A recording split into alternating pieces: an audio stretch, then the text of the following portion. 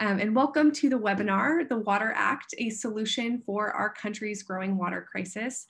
My name is Rianna Eckel, and I am a senior organizer on the national organizing team with Food and Water Watch. I am so glad to be here with you all tonight, and we have a wonderful lineup of speakers with us. Um, this evening, we will hear from Food and Water Action's Executive Director and Public Water for All Campaign Director. We'll cover the root cause of our water crisis and how the Water Act would help ensure that everyone has access to safe, affordable, clean public water. And we will cover the upcoming political opportunities to organize for water justice and talk about how you can get involved. We have a great video from one of our lead bill sponsors to share, so stick around. And at the end, we will have time to answer questions from Food and Water Watch's experts.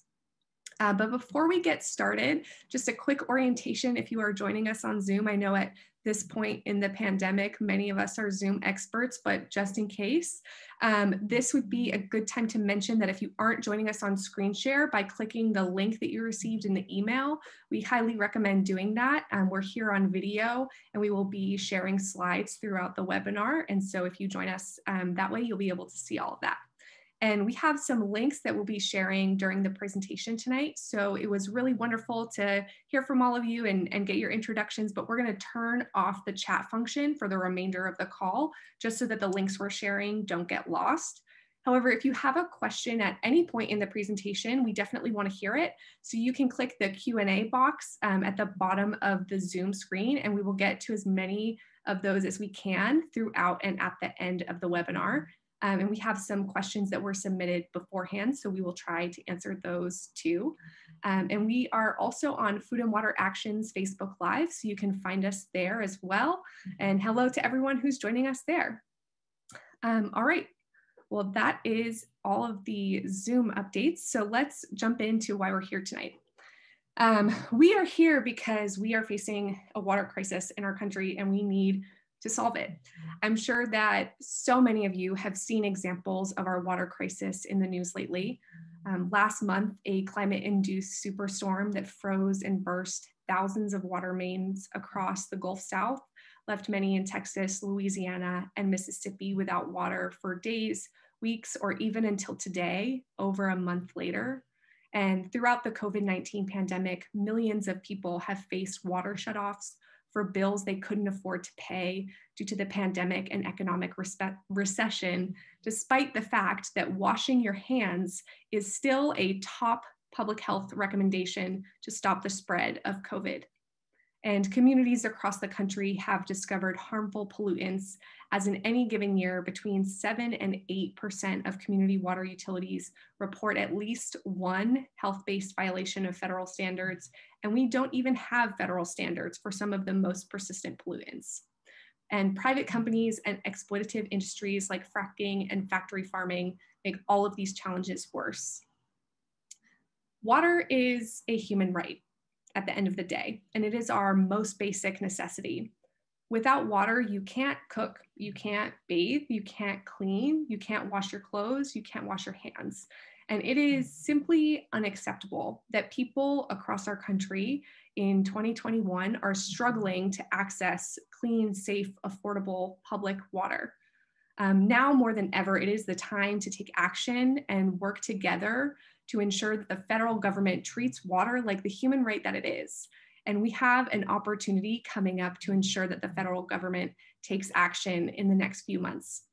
But before we talk about how we're going to win Water for All, it is my pleasure to introduce Food and Water Watch and Food and Water Action's founder and executive director, Wenonah Hauter, Wenonah has three decades of experience campaigning and writing on food, water, energy, and environmental issues. She has trained and mentored hundreds of organizers and activists across the country and worked at the national, state, and local levels to develop policy positions and legislative strategies to secure real wins for communities and the environment. Thanks so much, Wenonah. I am so proud to be here today kicking off our webinar on the Water Act. 16 years ago, when we founded Food and Water Watch, one of our top goals was to revitalize our public water systems and to make sure that everyone in our nation has access to safe and affordable tap water.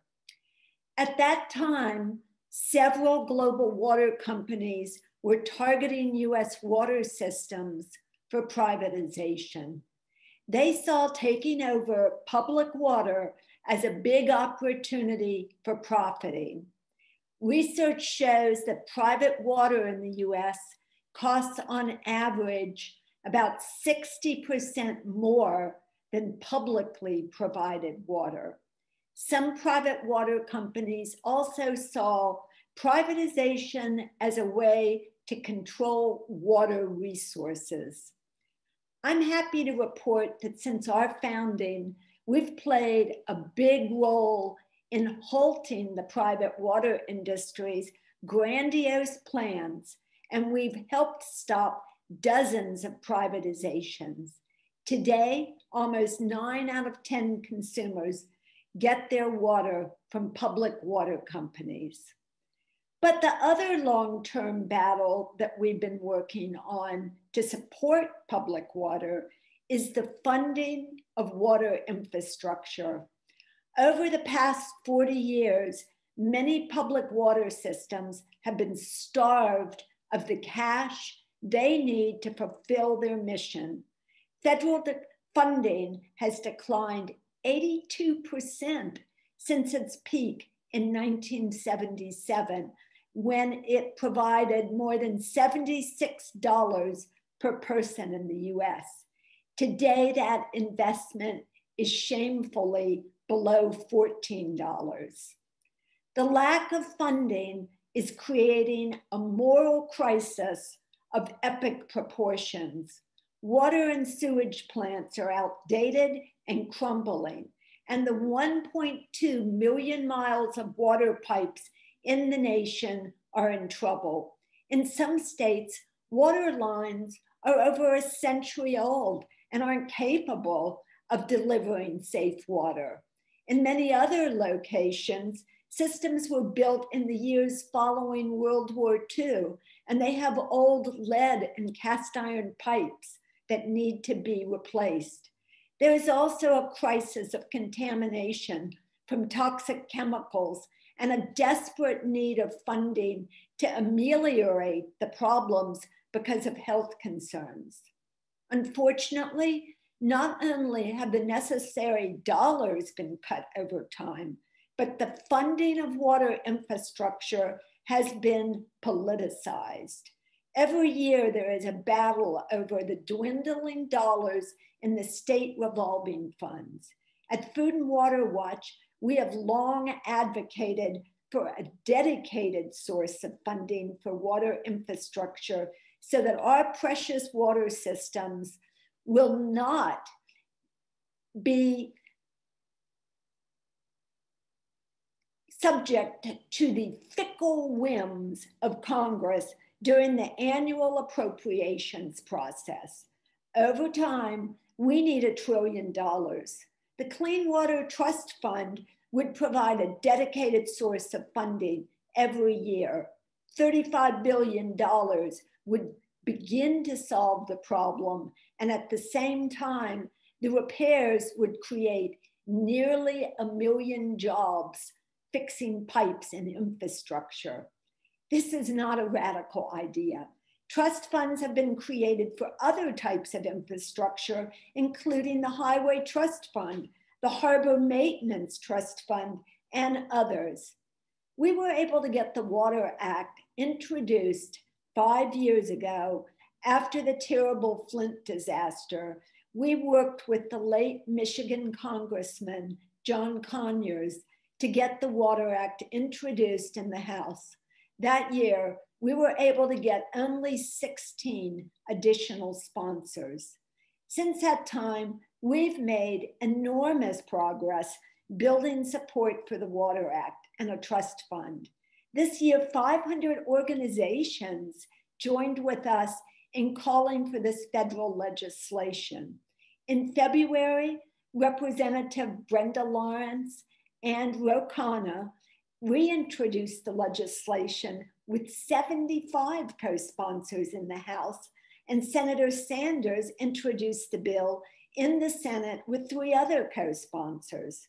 We're thrilled to continue building the political power to pass this legislation, and I'm confident that in the not too far future, this will be possible. If we as a nation truly believe in equity and justice, we must start by providing water for all. Wonderful. Thank you so much, Wenonah. Um, if Wenonah's words brought up any questions for you, uh, you can uh, drop or you can click the Q&A button at the bottom of your screen and we will get to as many as, of those as we can at the end of the webinar. I've seen some really great questions coming in already. Um, in a moment, we will hear more from Mary Grant, our Public Water for All campaign director, about our solution to the water crisis, the recently reintroduced Water Act, as Wenonah just mentioned. Um, but before we hear from Mary, I want to share two ways you can get involved and support this work. First, you can support this campaign with a monthly donation to Food and Water Action. We know that this is still a difficult time for many families, but if you are able, a small monthly donation is one of the best ways to support this urgent work to demand our elected officials guarantee safe, clean, affordable public water for everyone. Um, in honor of, of World Water Day, which was on Monday of this week, uh, Food and Water Action has a small group of supporters who are matching all new monthly donations from this call through the end of the year. So your monthly support, along with the generosity of all of our action partners, allows us to co-author bills like the Water Act and build the political power we need to fight for water justice. Um, so the link to sign up to donate monthly is in the chat and you can click that. Um, you can also support this crucial campaign by making phone calls from home to other Food and Water Action supporters and voters in key congressional districts and states and ask them to call their representative to support the Water Act. All you need to make calls is a computer or a tablet and your phone. Um, so if you are interested in volunteering from home, please fill out the second form that we are just going to send in the chat now. So Cassandra Worthington has shared those um, if you are looking in the chat both to donate monthly and to volunteer. Um, and I will share more about what volunteering looks like and who you'd be calling and supporting this campaign later in the call. Um, but now I want to turn it over to Mary Grant. Mary is the Public Water for All campaign director with Food and Water Watch and Food and Water Action, and she oversees our campaigns to support universal access to safe water in the United States by promoting responsible and affordable public provisions of water and sewer service. And I am always amazed um, by her knowledge of our water systems. So it is my pleasure to introduce Mary Grant. Thank you, Rianna. I am now going to give you an overview of the Water Act. That's HR 1352 S916. I saw that someone, Ralph, had a question in the chat about the number. So they're right there on the screen for you. Um, it's in Congress right now. The Water Affordability, Transparency, Equity, and Reliability Act is the most comprehensive solution for our nation's water problems. It would create a trust fund, that's the heart of the legislation, backed by a progressive revenue stream to fully fund our nation's water infrastructure. It would provide $35 billion each and every year for our water. That's what EPA says we need to spend so that our water and wastewater systems can comply with existing federal standards. This would restore the federal government's commitment to safe water. The funding would come from just a tiny little rollback of the Trump administration's tax cuts on corporate profits, just a 3.5 percentage point increase in the tax on corporate profits would fully fund our nation's water infrastructure. And we know the cost of the failure to act. We see it every day as water mains break, flooding roads and homes, as sewage spills contaminate our precious waterways. Every single year, there are more than 250,000 water main breaks, wasting more than 2 trillion gallons of water each year. There are tens of thousands of sewer overflows, spilling billions upon billions of gallons of raw sewage. In recent months, there have been sewage spills from coast to coast. closing shorelines in California, and creating a lazy river of toilet paper and poop in Florida. There are climate catastrophes that have taken water systems completely offline and endangered people's lives. A third of Texas was under boil orders or outages during last month's winter blast. And climate chaos has collided with years of federal disinvestment in the majority Black city of Jackson, Mississippi, leaving residents without water for more than a month. The Water Act will also fund a range of projects, such as to address drinking water contamination from per and polyfluoroalkyl substances. These are PFAS, the forever chemicals. They're lab-made toxics that were used in Teflon and firefighting foams and are being found in the water across the country. The Water Act would provide support to update treatment systems or find alternative water supplies when community water systems have PFAS contamination. It provides funding to rural households to test and install filtration systems on household drinking water wells, or to connect to public water supplies if home treatment fails. The Water Act would also address the lead and water crisis, helping remove all lead service lines. It would also dramatically increase the grant program to remove lead and other toxics from the water in public schools, increasing funding from a mere $5 million a year. That's right now we're only spending $5 million a year to remove lead from school water. And it will increase that to more than a billion dollars a year. It will provide grants to replace and repair all infrastructure necessary to ensure that our kids have safe lead-free drinking water at school. And I wanna emphasize how important this is. No child should be exposed to lead, especially not at school. The science is really clear. No amount of lead is safe particularly for our youngest children. Lead is a dangerous neurotoxin. The Water Act also prioritizes half of the funding as grants to help disadvantaged communities improve their water and sewer systems. Overall, by restoring federal support to water infrastructure, we will reduce the burden on our cities and our towns. In turn, cities and towns will not need to continue to hike rates to pay for improvements. By avoiding these rate hikes, the Water Act will help mitigate our nation's deepening water affordability crisis, shifting the burden off of local households. The Water Act also requires the EPA to produce guidance on water affordability programs and to coordinate a study about water affordability, discrimination, and civil rights violations, as well as public participation in water regionalization efforts, and to collect data about water shutoffs. The Water Act is so critical right now in this moment that we're in. The pandemic has exposed and exacerbated our country's existing water affordability crisis. Before the pandemic, as many as one in three households faced unaffordable water bills. In a typical year, our research found 2016, an estimated 15 million people experienced a water shutoff. That's the combined populations of New York City, Los Angeles, and Chicago. The Water Act also dedicates 3% of drinking water dollars for grants to Indigenous communities. Currently, funding is capped at 2%. Overall, the Water Act will expand funding to Indigenous water systems from about $20 million a year to nearly half a billion dollars a year. And it creates a new grant program for rural households to help install and improve household septic tanks. And it provides dedicated funding for rural households with household well contamination and it dramatically expands support for technical assistance to help rural and small municipalities and indigenous governments improve their water and sewer systems. The Water Act ensures that all funding will go to the public benefit by cutting off subsidies to water privatizers. Private water companies will no longer receive federally subsidized water loans. It will amend the drinking water federal funding eligibility to restrict the money to only publicly owned and operated water systems and small locally owned systems. It also allows communities to use funds to buy their water systems from these private operators and owners and then exit water privatization contracts. And lastly, the Water Act is a jobs bill. It's a good way to stimulate our economy and get people back to work after vaccines are widely available. It will create up to nearly 1 million good jobs right here in communities across the country, from trucking to plumbers to pipe fitters and more.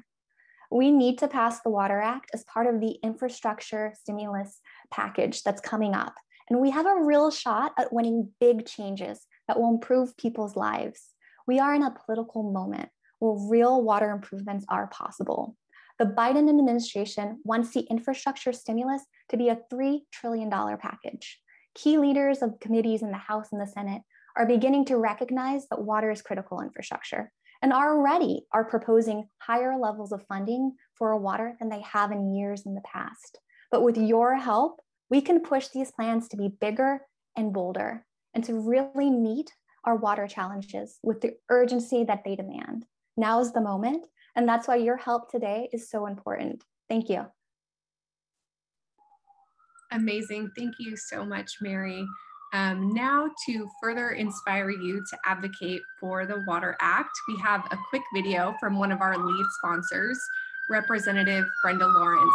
Um, she shared this video on Monday, which was World Water Day, and apologies for the ambulance noise in the background, but um, now we'll hear this video from Representative Lawrence. Yeah. Hello, everyone. I'm Congresswoman Brenda Lawrence, and I represent Michigan's 14th Congressional District. I am so proud to lead the effort in introducing the Water Act in the U.S. House of Representatives. We have a water crisis in the United States, and it affects every corner of our country. As a representative from Michigan, I know all too well the struggles that family, families have assessing clean and safe water. We need to invest and strengthen our nation's water infrastructure and we need to do it now. And my bill will do exactly that. It will dedicate $35 billion to repair drinking water and sewer systems, help stop sewage overflows, find infrastructure improvements, and create nearly 1 million jobs. We must work together to get this done and get it over the finish line. Access to clean, and safe water is a basic human right. Amazing. Um, Representative or Congresswoman Lawrence is truly incredible. Um, I had the opportunity to see her do her thing on a um, on a briefing with other legislative staff earlier this week, trying to convince folks to get on board with the Water Act. And it is so wonderful um, to hear from her and hear her inspiring words. Um, we are going to get to the question and answer session in just a second, but right now I'd like to share a little bit of more details and ask you again to get involved. Uh, now that the COVID relief bill has passed, the Biden administration is working on a huge infrastructure spending bill, which Mary mentioned. Um, and in the past, when you've thought of infrastructure, you may think of roads and bridges, uh, but water funding will be a big part of this. Um, and the language for the infrastructure bill has not been finalized yet, um, but the latest news says it should be soon. And once it's introduced, just like the COVID relief bills, it will have to move and be passed through the House and the Senate. So we have a really uh, incredible window right now to organize and mobilize to ensure that real water justice solutions are included in this infrastructure package so that everyone can have access to clean, safe, affordable public water. Um, so we are kicking off this campaign to include the Water Act um, in the infrastructure package with a national call-in day tomorrow to urge both our senators and representatives to support the Water Act and include it in the infrastructure package. So we will be sending an email in the morning with the number to call, what to say and how to share the word with friends. But tomorrow and continuing for the next few weeks as well throughout the course of these infrastructure negotiations, we are going to be driving calls into a few key offices who have a lot of power over the water section of the infrastructure bill. So these folks you can see on the slide, it is Senator Carper from Delaware, who is the chairman of the Environment and Public Works Committee. He will be a really key player, as well as Senator Tammy Duckworth from Illinois, who is the subcommittee chair for fisheries, water, and wildlife as well as in, on the and then on the House side, um, we have Representative Frank Pallone from New Jersey's 6th Congressional District, who is the chair of the Energy and Commerce Committee. and uh, Representative Peter DeFazio from Oregon's 4th District, who is the chair of the Transportation and Infrastructure Committee. Um, so you can see those folks on the screen there, but if you can, um, give your time to call supporters and voters in those off, in those districts to try to get them to call these offices um, anytime in the next few weeks when it's convenient for you please sign up using the link that Cassandra just put in the chat. We will follow up with instructions on how to make these calls from home. Um, all you need is a computer or a tablet and your phone. Um, and we will be hosting a quick training on how to make these calls next week. Um, so you can again sign up using the link that we are dropping in the chat and we will be in touch on you know how to exactly make those calls, but they will be you know, pretty easy to make and will make a really huge impact and could really have a huge influence over what the water pieces look like in this infrastructure package. And then uh, the second way to support this campaign is, you know, through supporting our work um, financially. So the longer we delay action, the worse our water crisis will become. Um, we need to fight hard to ensure access to water for all. Food and Water Action never takes corporate funding. So our campaigns are completely powered by generous people like you. Um, a small monthly contribution will help us cover the costs of our tools that we use to empower people to call their representatives and cover some of the staff time spent on this campaign as well. Um, and as I mentioned earlier in the call, thanks to a few generous donors right now, all monthly contributions will be matched throughout the end of the year so you can double your impact. Um, so if you are able, please click the link in the chat to become a monthly partner with Food and Water Action, or um, you can increase a current monthly gift and have it matched through the end of the year as well. Um, so that link is in the chat and you can click that to support this urgent campaign. Um, and thank you all so much for your dedication and support for your time and for your financial support as well. If you have joined by phone and missed the links in the chat, do not worry. We will be following up in an email to everyone who RSVP'd that will include those links as well as the recording. Um, so now we are going to have some time to answer your questions. Uh, we have received a lot of great questions already, so glad to see everyone's enthusiasm and curiosity. But if you have any questions um, for us, please feel free to use the Q&A box at the bottom of the Zoom screen and we will get to as many as we can. Um, so I will bring up the first question that I see here is uh, Beatrice and Vivian both asked, how can we stop Wall Street from trying to buy water rights that belong to farmers and the people? Um, what are you going to do with the Wall Street trading futures like oil and gold? And they shared, if we do not do anything at one point or another, people will own water and request payment for it. This is a human rights issue, and Congress must include water as a human right. Completely agree. Um, Mary, do you have an answer for that one? Sure, this is a great question. So thank you, Beatrice and Vivian, for the question. Um, some of folks on the call may not have heard, but last year in December, the Chicago Mercantile Exchange launched the world's first water futures market. This is deeply disturbing for people who view water as a common resource, a public good that should be managed for the public benefit. Right now, um, Wall Street speculators are treating water like a plaything, um, this is very concerning for us. So we have pulled together a work group with our board chair, Maud Barlow, and we are working on solutions to try to stop this. We want to stop the practice and completely ban the idea of trading water futures on the market. It's deeply disturbing to us, I'm as, as to you. And so we are working on that. And later this year, we will be releasing a, um, a fact sheet about what this means. What is water financialization? What are water rights? And what can we do to stop it? So please stay tuned to, um, for more on that.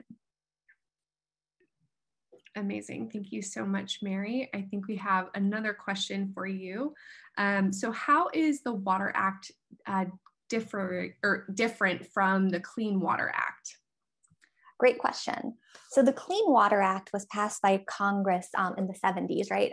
You might have seen rivers on fire because we weren't regulating our um, effluent, our discharges into the waterways. So they passed the Clean Water Act to set up standards. And when the Clean Water Act was passed, Congress did an amazing thing. They set up a grant program So you might have seen that back in the 70s. That's when federal funding and support for our water systems peaked. And that's because that construction grants program to, as part of the Clean Water Act that funded wastewater systems across our country. And so that federal funding, the grant program was phased out by President Reagan um, in the 80s. Um, and since then, federal it was replaced with a loan program, a revolving loan program. And since then, funding has fallen, fallen. There was an uptick with the Obama stimulus, and then it's been pretty steady um, in the past couple of years. So the Water Act would um, restore that federal funding that we saw when the Clean Water Act passed, when the Congress um, passed that a landmark legislation to say that we're going to clean up our waterways. We're going to restore the funding so that our communities can actually do that. Um, so that would that's what the Water Act is. Um, it would fund both the Clean Water um, State Revolving Fund program created through the Clean Water Act, as well as the Safe Drinking Water State Revolving Fund program through the Safe Drinking Water Act. So the Clean Water Act is um, about regulating our wastewater and our stormwater, and the Safe Drinking Water Act is about setting regulations on our drinking water. And we're going to fund both programs, both um, loan programs, turn half of that funding back into grants so that our communities can actually make the improvements that need to happen without overburdening households. Amazing. Thank you so much, Mary. Um, a similar question, how is the Water Act uh, different from the proposed infrastructure package that um, they've been debating in the Senate this week? Sure. So the Water Act, at the core, the heart of it is a trust fund. So this is about removing water funding from that annual appropriations battle. Every year we go into Congress and we say, we need to fund these programs. We need to fund our water systems. So the Water Act will make sure that our federal um, dollars for our water systems is guaranteed. We don't have to go into the Congress every year. We don't have to have these battles. What passed um, oh, out of committee this week in the Senate is a bill to um, reauthorize some loan programs. The funding is a lot less than what we're proposing, and it's an authorization. It's not an appropriation. So it's just saying that Congress can appropriate up to, I think it's $4 billion a year for these um, drinking water and wastewater programs. What we want to do is say we want $35 billion each and every year, and we want it guaranteed without having to battle um, at the budget table in Congress because all too often water is one of the first things on the chopping block and we need to make sure that funding for our water systems is guaranteed and it's guaranteed at the level that we need to be funding it at. Amazing. Um, thank you so much. I see a question here um, that I can go ahead and answer. So someone asked, how would our donations be used? Um, and so love to share that uh, all of your donations go towards our research and policy analysis. As you can see, um, Mary is an incredible expert and it goes towards, you know, making sure we can support um, research and analysis and uh, making sure we're keeping up to date on all of the things coming out of Congress. Um, it also goes to our outreach tools for calls and texts and emails so that we can mobilize people in their communities to speak out on these issues. And then, of course, it goes to other materials and support for events like this. Um, as I mentioned earlier, Food and Water Action never takes corporate funding. So our campaigns are only possible with support of generous people like you. So thank you so much um, for considering supporting our work. Um, all right, let's, another question. Um, let's see, there are so many good ones here. Uh, how, why is the funding level for the Water Act $35 billion a year? Um, how do we get to that number, Mary? That's a great question. Um, so we're relying on EPA. Um, EPA does need surveys every four years, looking surveying our water and our sewer systems. And so we're looking at the EPA. What the EPA is telling us that our water and sewer systems need to spend. They need to spend this just to comply with existing federal standards. So we're restoring that federal government commitment so that our water and our sewer systems can really um, meet that need that EPA has identified. Amazing. Thank you so much. Um, another question from Mary B. Um, asked, how does the Water Act address or support water to individual households on reservations such as the Navajo Nation? Great question. So the Water Act does two things. Um, It will dramatically increase funding for indigenous community water systems to expand water lines out to households that are underserved or unserved. And it would also provide grants to households on household wells to update and improve their own individual household well. Um, it would also fund and support households with septic systems to update and replace their own septic systems. Thank you. Amazing. Um, another one is how does, oh, from Anne M asked, uh, how does this affect areas that are not connected to the public water systems in more urban areas, such as those on septic and water wells only? Great question. So it was a key idea when we um, were working with um, Representative Conyers and designing the bill to make sure that it um, helps both them cities and our localities as well as rural households um, address their water needs. So it does provide that grant program that's would fund update testing and updating household drinking water wells especially if you have PFAS, you, uh, there's another grant program available to test and update your drinking water well to address and to stall treatment if it's contaminated, or to connect to a community water system if treatment is not working.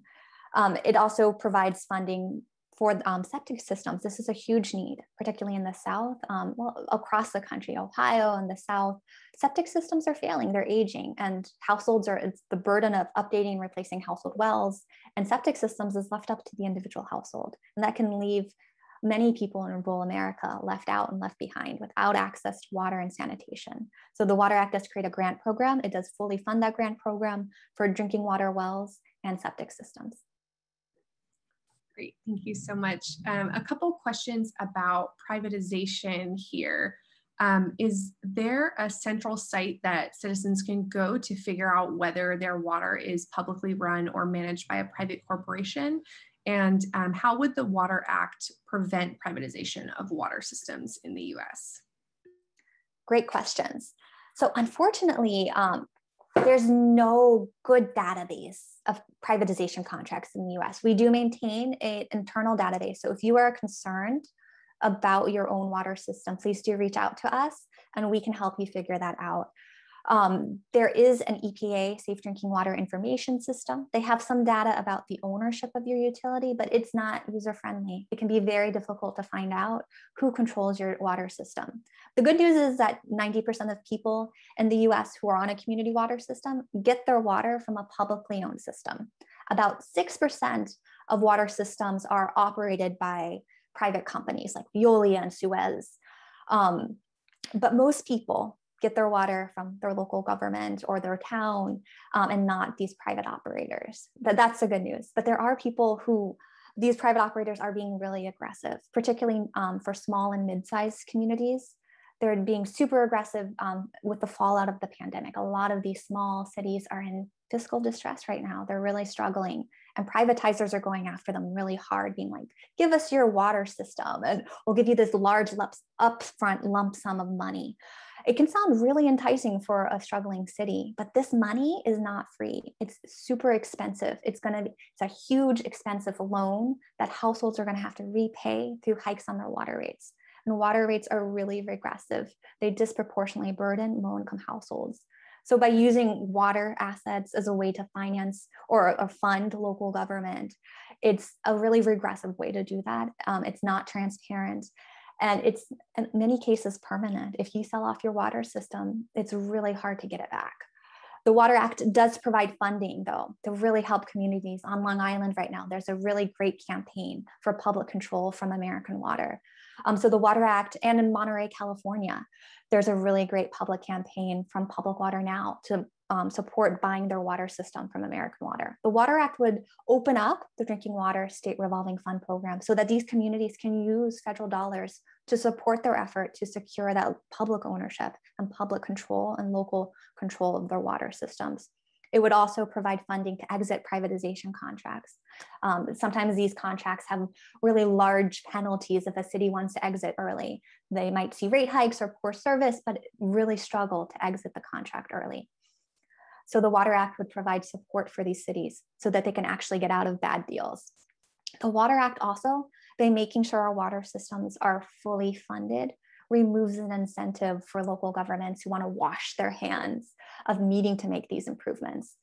Sometimes a local government officials, especially mayors on, you know, short campaign cycles will see like shifting the burden and the responsibility of updating a water system to a private company as an appealing and enticing solution for them for the short term. It's a very short term idea, um, myopic.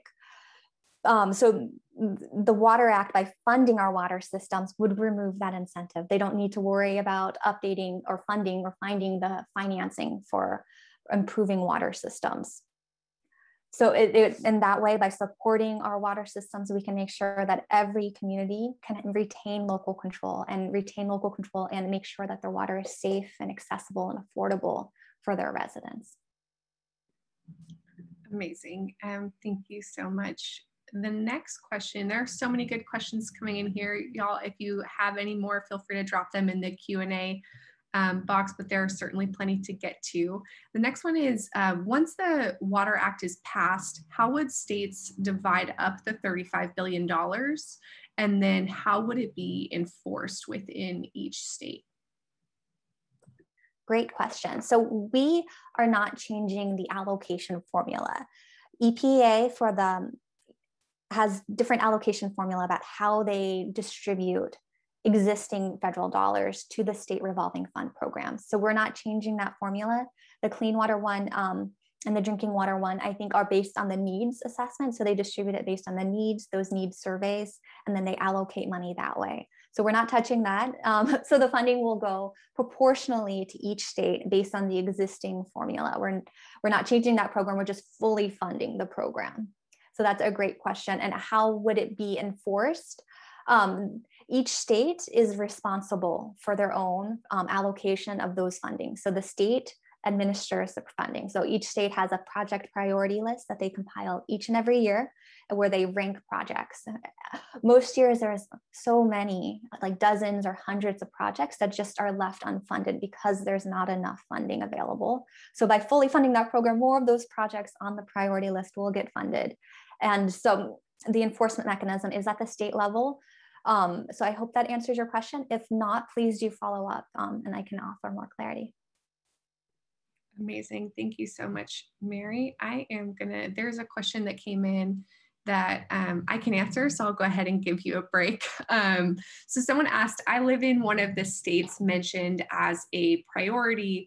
Um, what can I do to help convince my senator to support the Water Act? So this is a great question.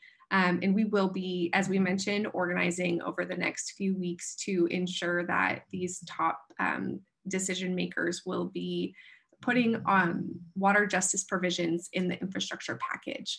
Um, the best thing that you can do is help mobilize folks in your state, in your community, in your congressional district um, to reach out to your elected official and tell them that they should prioritize water justice and the Water Act in the infrastructure bill.